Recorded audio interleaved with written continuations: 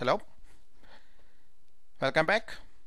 So today we're going to discuss uh, the topic output values. How you capture the runtime data from the application.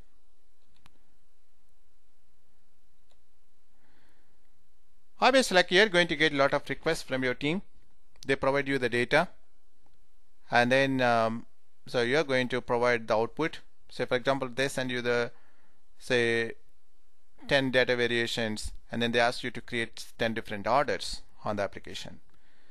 So once you run your script then ultimately you're going to send them back what are the orders that are created for the data what they sent right? So how to capture those order numbers? So that's where the output values is the functionality in QTP to capture the runtime data. Again, there are different types of output values, standard output value, text, text area, database, and XML. Depends on from where you want to capture the data, whether it's from the database or from XML tag or the node value or from the text box or from the property of an object. So you're going to use different output values. So today we're going to do the exercise how we are going to output value from the text box. So today we're going to continue with the with the scripting what we did in the parameterization part. So if you haven't gone through that video, please pause this and then first watch the parameterization video. That way you will get the concept how to do the parameterization and then uh, you continue with this video because this is what the parameterization script what we did in that parameterization demo video. So once you're done with this parameterization, so how you are going to do the output values? So basically you're going to look at where you are using um, with the active screen, right? So this is where you you insert the order. So once the order gets inserted, then you you get that order displayed in this text box. If you look at the active screen, so after it clicks this insert order button, you got that order number. So you want to capture this order number. What is um, what the application generates here, what the application outputs, because this happens at runtime, right? So this is the runtime data you want to capture. Not only the order number. Okay, now I want to capture say total pricing or the individual ticket price or I want to capture the flight number you can capture any of these because all this data that generates automatically by the application at runtime then you can capture all this runtime data using these output values. Because these are all the text boxes you're going to use pretty much the text output value. All you have to do is right click on this and then select insert output value. Okay? Select and then because you know right now actually like you are in the insert order line right? So now you are going to right click on this insert output value. And then so you'll get output value properties window click OK.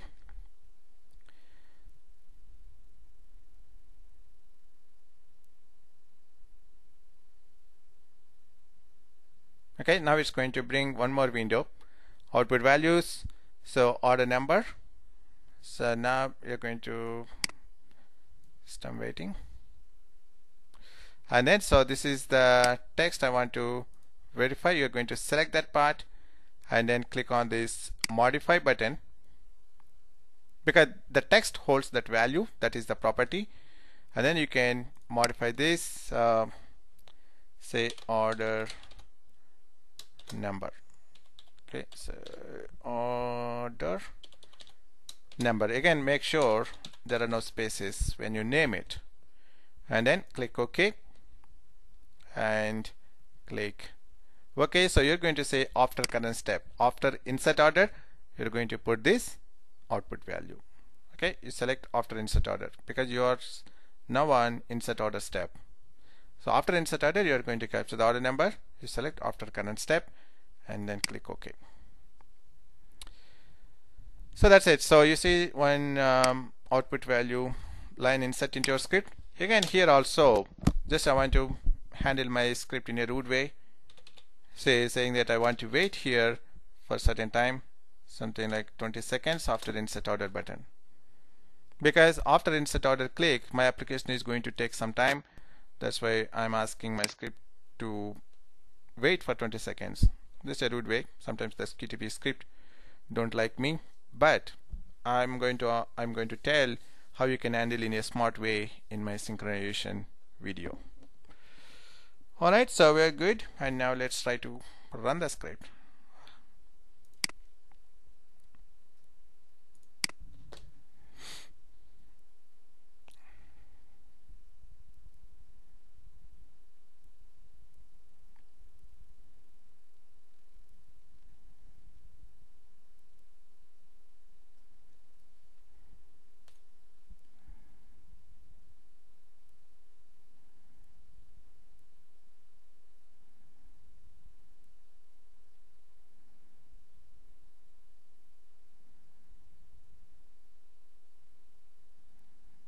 okay so it's trying to run the first iteration now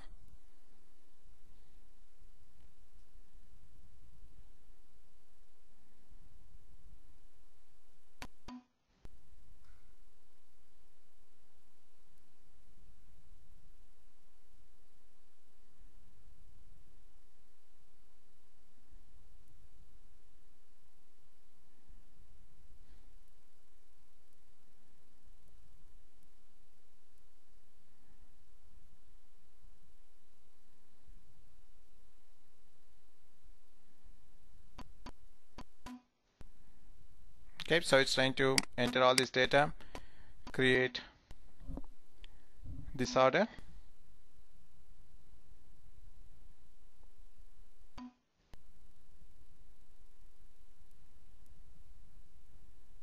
And it's trying to insert order now.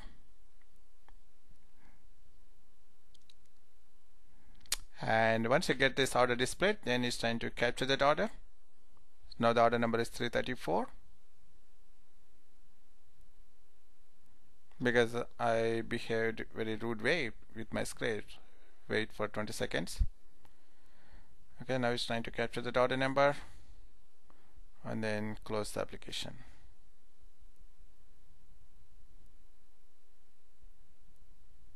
So now it's trying to run the second iteration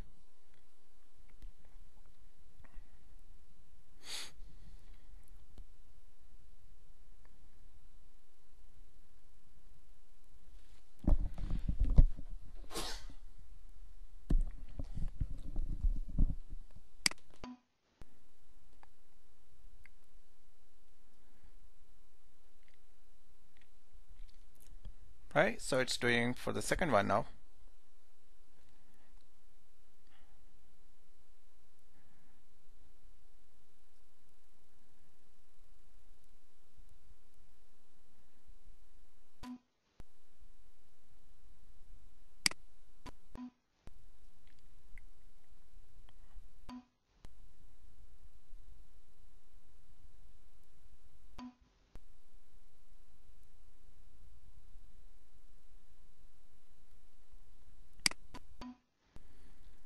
Alright, so the order is almost done and it captures that order number also.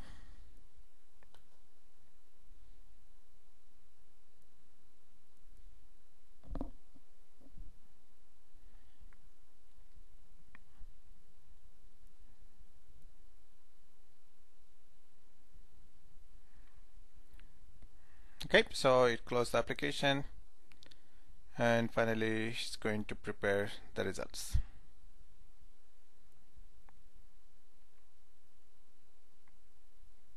Okay so now it's generating the results.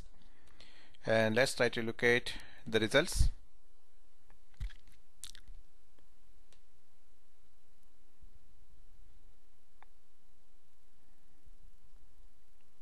Okay so display the results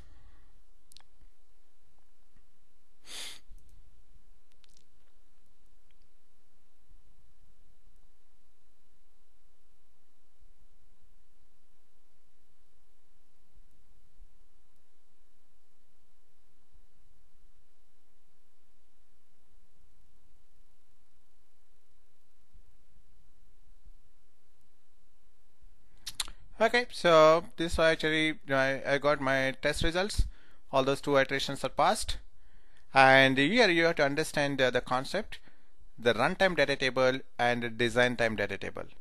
So whatever the input that you provide to your script this is called the design time data table.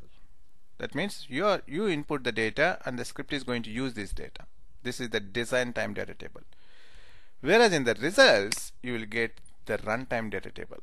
So this is basically the runtime data table is going to contain what is the data outputs. So you see here it captures all those order numbers. So this way you are going to provide so even you can export all this data into an excel sheet. You can say file export and then you can select uh, the excel uh, that's the default scene and you can name it. Okay this is my order data something um, that's the name of the excel save it and send it back to your team. Okay this is what the orders that got created. Okay so that's uh, basically the difference the runtime and um, design time data table. So runtime data table is um, where you get the results. It output the data what the application generates. And uh, runtime design time data table is where it's going to input the data. So the script is going to read the data so there are different other checkpoints like uh, where you can use the database in XML those kind of checkpoints or the output values. So we're going to discuss um, in my other videos. Thank you. Thanks for coming and thanks for watching my video. Talk to you soon. Have a good day